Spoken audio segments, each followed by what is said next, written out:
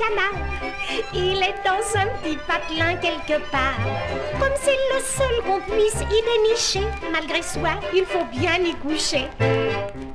Y a pas de garage, il faut ranger l'auto dans une étable entre une vache et un veau. Et par les trous qu'il y a dans la toiture, les pigeons déshonorent votre voiture.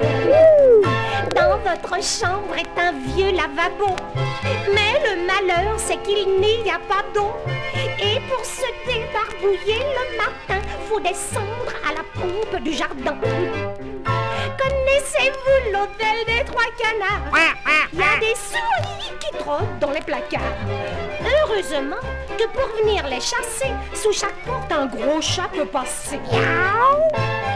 Votre lit, y a des draps rapiécés et du sommier, les ressorts sont cassés. Quand on se retourne, ça fait un tel bruit qu'on n'ose plus remuer de la nuit. Comme dans la cour, il y a aussi la basse-cour.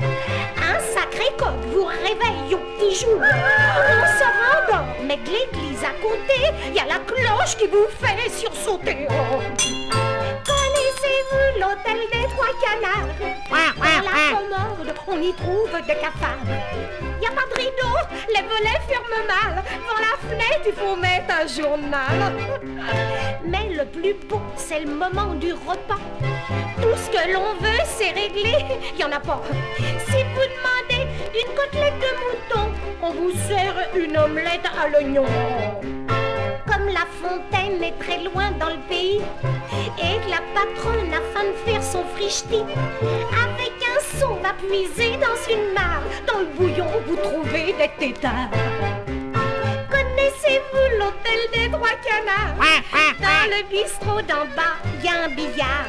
Mais on ne peut pas y jouer parce qu'il n'y a qu'une bille et ensuite il n'y a pas de queue. L'endroit discret n'est pas dans la maison, mais à côté de la cabane au cochon. Pour s'y rendre la nuit. Et s'il pleut, faut prendre un parapluie. On a bonne mine. On quitte l'hôtel disant c'est pas trop tôt. Et dans les tables, on va chercher l'auto. Mais le petit veau, prenant ça pour du foin, votre bagnole a bouffé les coussins. Oh, connaissez-vous l'hôtel des trois canards?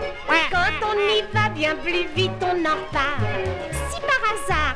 Vous y allez, tout comme moi, jamais vous n'y reviendrez.